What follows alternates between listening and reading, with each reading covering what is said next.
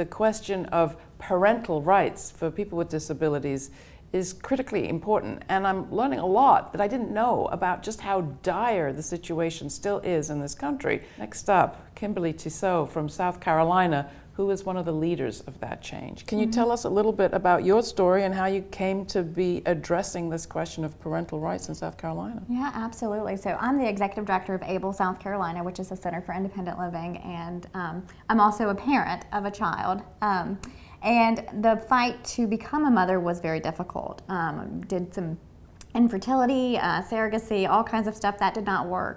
And by the time I was ready to really say we need to look at adoption, we went over to our state's um, child welfare system and, and I wanted to, to pursue adoption and they told me that I could not pursue adoption because of my disability. Simple as that. Simple as that. Simple as that. No, did not look at any other financial backgrounds, anything. It's said no right at my appearance. Um, and so they did not know who they were messing with. Um, and so I ended up, um, you know, advocating obviously to, to adopt. And, and we did end up adopting, which is great. But as a center director, I kept hearing these stories as well of pe people not, either having their children re removed because of their disability or not being able to pursue foster care or adoption. What about um, giving birth? Oh yes, there's a lot of discrimination in the um, reproductive health system, um, even being able to get any kind of assisted reproductive uh, assistance as well. A lot of doctors don't understand if you have any type, type of physical disabilities or intellectual disabilities, I mean any disability, they do not understand how you're going to be able to not only give birth, carry pregnancy, but also deliver. Um, we've seen a lot of situations where parents with a variety of different disabilities, the nurses will walk in after the child is born and immediately called Department of Social Services, um, and, and, and the child was removed at birth. And sterilization abuse? Oh yes, that's that's unfortunately people think that that's gone away, but it, it looks differently now. Um, you know, women are getting hysterectomies very early on the recommendation of their doctors um, because of uh, not thinking that they can procreate. And their choices in those areas. We There's talk no about reproductive choice. Times. No choices a lot of times.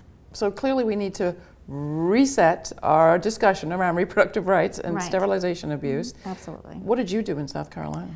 So we were able to pass the Persons with Disabilities Right to Parent Act, which is a law that prohibits any type of discrimination on the basis of disabilities for parents. Um, it protects their rights when they go to be a foster care, uh, foster parent. It protects their rights to adopt, and also uh, protects their any uh, birth birth children as well. So they cannot have their child removed on the basis of disability. Our state used to have a law that said that because you have a disability, any type of disability, you can have your child removed. So the law that you've passed, does it come with education for people in the institution, in the medical institutions? Absolutely. So what we're doing a lot of, of, of course we, we passed a law. That's just a law. We have to do much more work than that. So we're working with our Department of Social Services very closely, help them with creating policies and procedures for working with parents with disabilities and prospective parents with disabilities.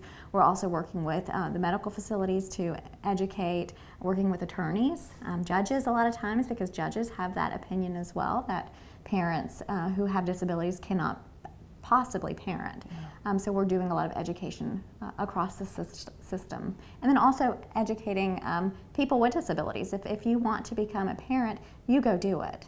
Let's, let's get this, let's make this happen because that disability should never pre prevent you from doing anything.